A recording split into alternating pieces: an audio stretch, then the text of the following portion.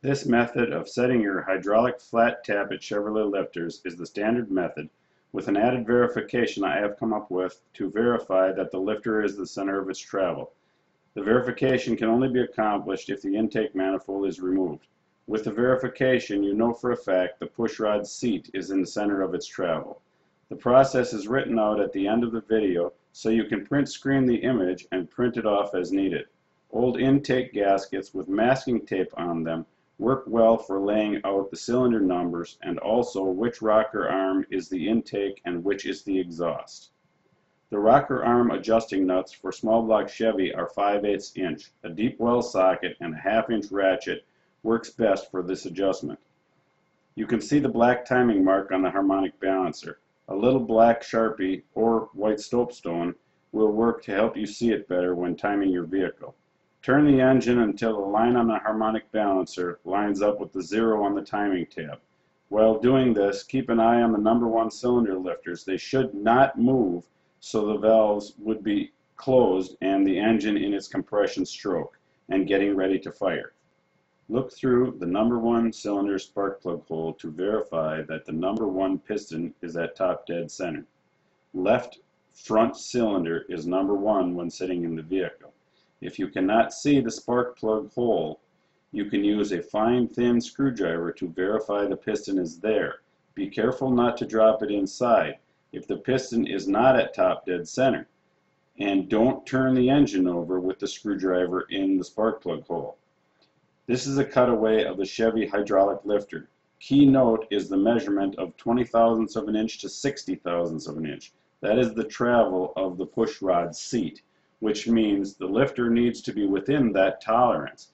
If less than 20 thousandths inch, the lifter will click and clack. If over 60 thousandths of an inch, you will bend the push rods. This is a tool I made. It's 16th inch stainless Heliarc wire. I bend it at 90 degree angle, hammer the tip of it until I reach the dimension I want to set the lifters at. I verify the measurement with a micrometer. As you can see, mine is at about 44 and a half thousandths of an inch. With all the rocker arms loose and turned sideways, I install the push rods for all of the cylinders, then turn the rocker arms in position on the push rod.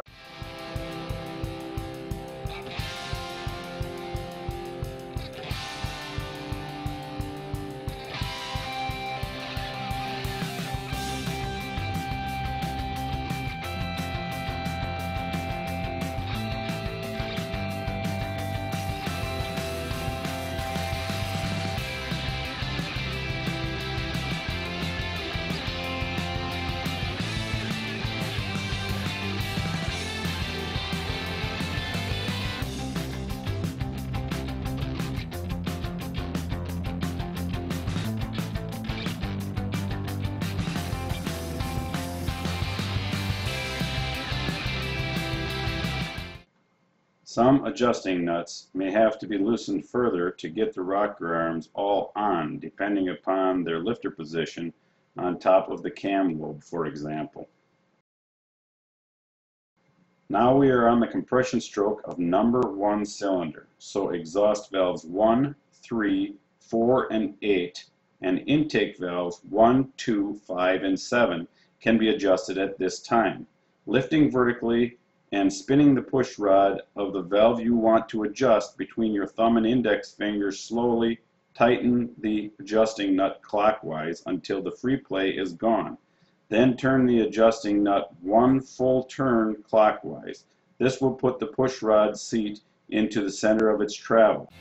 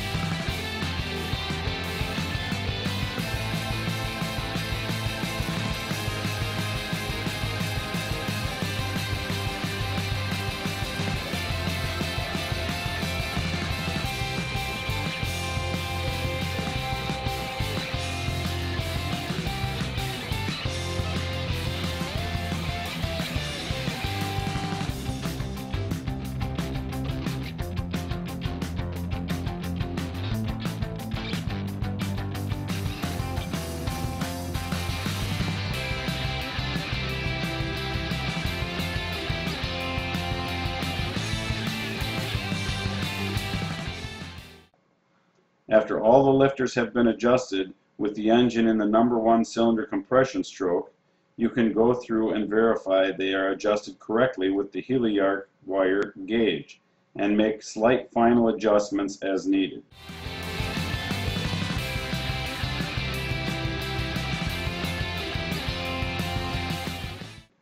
Here is a close-up of inserting the Heliarc wire gauge between the pushrod seat and the snap ring.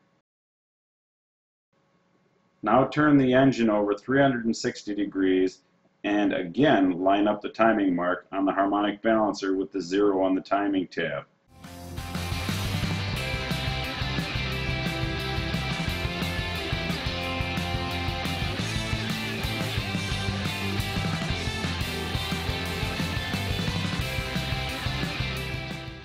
Now we are on the compression stroke of number 6 cylinder. So exhaust valves 2, 5, 6, and 7 and intake valves 3, 4, 6, and 8 can be adjusted at this time.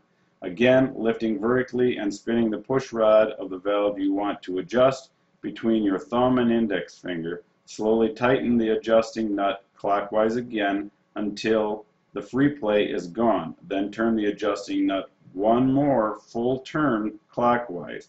After all the lifters have been adjusted, with the engine in the number 6 cylinder compression stroke, you can go through and verify they are adjusted correctly again with the Heliarc wired gauge.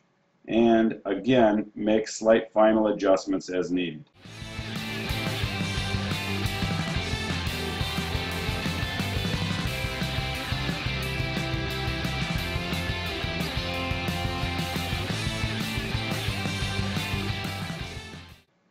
After completing the lifter adjustment, remember to turn the engine over 360 degrees prior to distributor installation or the distributor will be 180 degrees off from where you want it.